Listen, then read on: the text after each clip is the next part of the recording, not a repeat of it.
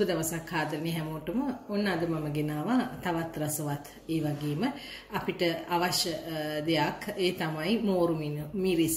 මෝරු මිරිස් කවම ඕගලන්ට නිරන්තරයෙන්ම මතක් වෙනවා. අපි කඩවල වලින් ගන්න ඒ අමු මිරිස් වලට මුදුවපු කිරි. සමහර අය ෆ්‍රෙෂ් මිල්ක් දාලා හදනවා මුදුවපු කිරි දාලා හදනවා. ඒ වගේ දාලා හදලා පදම් කරගත්ත මිරිස් අවුවේ වේලලා ගන්න ඒ වලට තමයි අපි මෝරු මිරිස් කියන්නේ. අපි සාමාන්‍යයෙන් ඒවා සාමාන්‍යයෙන් පොල් පොල් සම්බෝලයක් කරවල බැදුමක් සමග ওই මිරිස් අනිවාර්යයෙන්ම නිවසක බැදෙන මිරිස් වර්ගයක් නිසා 呃 කොයි කවුරුත් කැමති දෙයක් නිසා විශේෂයෙන් මට හිතුණා පිටරට ඉන්න අයන්ට මේ වගේ හදලා යවන්න පුළුවන් නිසා සමහර අය මේවා ස්වයන් රැකියා වශයෙන්ද කරනවා. ඉතින් මේ හැමදේම හිතලා මට හිතුණා මම හදාගන්න විදිය මගේ YouTube channel එක හරහා ඔයාලට අරගෙන එන්න. මේ ඔයාලට පේනවා මේ තියෙන්නේ මම ගත්ත අමු මිරිස්. මේ හොඳ ලොකුවට තියෙන අමු මිරිස් ඒ වගේම අමු මිරිස් ගන්නකොට නැට්ටත් එක්කම ගන්න ඕන ඒ වගේම ඕගලන්ට පේනවා. මම ඒ ගත්ත අමු මිරිස් වල එක පැත්තක් එක පැත්තකින් දිගට පැලීමක් කරලා තියෙනවා. ඒ විදිහට ඉස්සරින් අවමිරිස් ටික හොද ගන්න, හොඳට වතුර සීරෙන්න තියන්න. ඊට පස්සේ මොන හරි ටිෂු එකක් හරි ටවල් එකක් වගේ අරගෙන හොඳට ඒ තියෙන වතුර ගතිය හොඳට තෙත මාතු කරගන්න. ඊට පස්සේ අවශ්‍ය වෙනවා මුදෝපු කිරි. මම ඔයාලට කිව්වා මම පාවිච්චි කරන්නේ මුදෝපු කිරි කියලා. මෙතන මුදෝපු කිරි තියෙනවා. මම ගත්ත අවමිරිස් ප්‍රමාණය හැටියට මේස හැඳි තුනමාරක් විතර තියෙනවා. ඕගලන්ට කැමති ප්‍රමාණයක් ගන්න පුළුවන්. ඔයාලා ගන්න අවමිරිස් ප්‍රමාණය අනුව.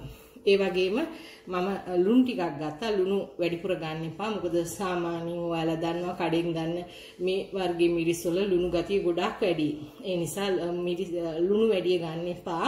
ඔයාලා මම මෙතන අරන් තියෙනවා තේ හැඳි එකමාරක් වගේ. ඉතින් ඕගොල්ලෝ ගන්න මිරිස් ප්‍රමාණය අනුවද ලුණු අඩු වැඩි විය යුතුයි.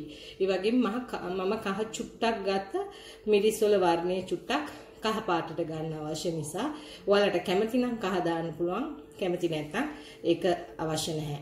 ඉතින් අපි දැන් බලමු කොහොමද මේ මෝර මිරිස් හදන පළවෙනි අදියරේ කියලා.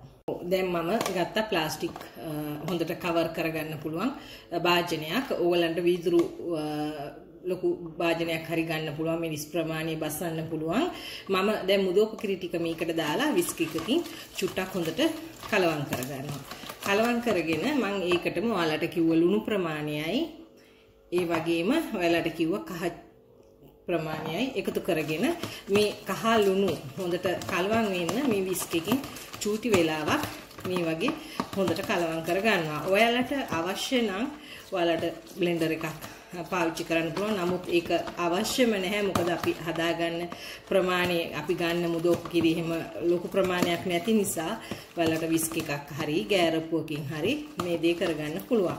දැන් ඕගලන්ට පේනවා මේ ලුණුයි කහයි. හොඳට මේ මුදෝපු කිරි සමග කලවම් වෙලා තියෙන්නේ.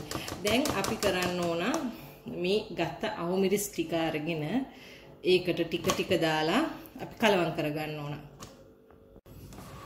ඔව් දැන් ඕගලන්ට පේනවා මේ වගේ ඕගලන්ට හැන්දක් ආධාරයෙන් මේ මිරිස් වලට මේ අපි හදාගත්ත මුදෝපු කිරි මිශ්‍රණය හොඳට මිශ්‍ර වෙනකන් ටික ටික අවමිරිස් ටික දාලා අපි කලවම් කරගන්න ඕන. දැන් ඔයාලට පේනවා මම අවමිරිස් එක්ක ඒ මම හදාගත්ත මුදෝපු කිරි මිශ්‍රණය හොඳට කලවම් කරලා තියෙන්නේ. දැන් මම මේක මම ඔයාලට කිව්වා මේක වහන්න හොඳට කවර් කරන්න මූඩියක් අවශ්‍යයි කියලා. දැන් මම මේ විදිහට කවර් කරගෙන මම මේ හදාගත්ත මිරිස් ටික දවස් 3ක් නෝමල් විදියට ඒ කියන්නේ ෆ්‍රිජ් එකක දාන්න අවශ්‍ය නැහැ. නිකන් අපි කොයි හරි කුස්සියේ අපි තැනක තියලා තියාගන්නවා. ඒ නමුත් අපි ඒ හැම දවසකම මේ මුදෝප කිරි මිශ්‍ර වෙන්න. මොකද ඔයාලට පෙනේ දවසක් ගියාම මුදෝප කිරි ටික මිශ්‍රණේ යටට බැහැලා තියෙනවා. එතකොට ඕගොල්ලෝ කරන්න ඕන භාජනය අරින්න නැතුව දෙපැත්තෙන් අල්ලගෙන මේ මිරිස් එක්ක මුදෝප කිරි යට තියෙන මුදෝප කිරි කලවම් වෙන්න භාජනය හොලව හොලවන්න ඕන. එතකොට ඔයාලට පෙනේවි මිරිස් සේරම අර මුදෝප කිරි මිශ්‍රණය එක්ක හොඳට මිශ්‍ර වෙනවා. ඉතින් මේ වගේ දවස් 3ක් තියාගෙන පස්සේ අපි ඒක එළියට අරගෙන ට්‍රේ එකක් මත මේ මිරිස් ටික අතුරලා තද අවුවේ තද හොඳට අවුව තියෙන වෙලාවට එළිය දාලා තද අවුවේ දවස් 3ක් හරි 4ක් හරි අපි තියාගන්න අවශ්‍ය වෙනවා. මොකද එතකොට තමයි මේ මිරිස් වල වර්ණය ලස්සනට එනවා වගේම මිරිස් හොඳට වේලිලා ලස්සන පාටකට එන්නේ. අපි ඉදිරියේදී ඒ ගැන බලමු. ඔව් දැන් ඕගලන්ට පේනවා මං කිව්වා ඔයාලට ඒ මෝර් මිරිස් හදාගන්න මිරිස් ටික දවස් 3ක් විතර තියාගන්න කියලා ඒ අපි මිශ්‍ර කරගත්තු මුදොක් කිරි මිශ්‍රණය සමග ඉතින් මේ දවස්වල වැස්ස නිසා ගොඩක් අයන්ට අපහසු වෙයි. නමුත් කමන්නේ ඔයගොල්ලෝ දවස් 3ක් 4ක් තියාගත්තත් අවුලක් නැහැ. ඉතින් මේ තියාගත්ත මිරිස් ටික අද මම මේ තියෙන ඒ මුදොක් කිරි මිශ්‍රණය ඉවත් කරලා මේ මිරිස් ටික ට්‍රේ එකක තුනී කරලා තදවුවේ කිව්වා වගේම දවස් 3-4ක් හොඳින් වේලා ගන්න යනවා. ඕගොල්ලන්ට පේනවා මම මේ වගේ කේක් පැතිලි ට්‍රේ එකක් අරගෙන මේ වගේ ඒ මුදොපු කිරි ඔක්කොම ඉවත් කරලා මේ වගේ ට්‍රේ එකකට දාගත්තා.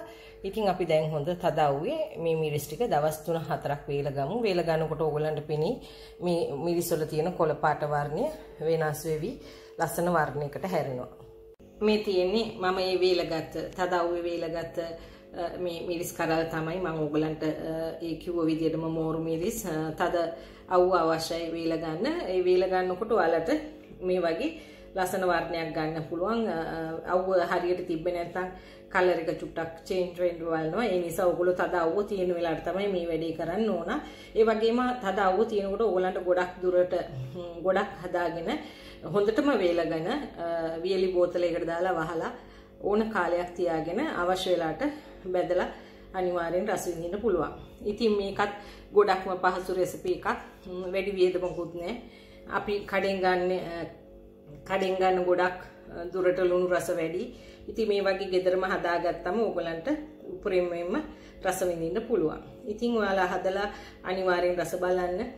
ඔයාලා ඒ වගේම තාමත් මගේ YouTube channel එක හරහා subscribe කර නැත්නම් අනිවාර්යෙන් කරන්න. ඊට පහලින් තියෙන බෙල් අයිකන් එකද ක්ලික් කරන්න අනිවාර්යෙන් එතකොට ඕගලන්ට මගේ වීඩියෝ බලන්න පහසු නිසා. හැමෝටම දෙවි පීටයි.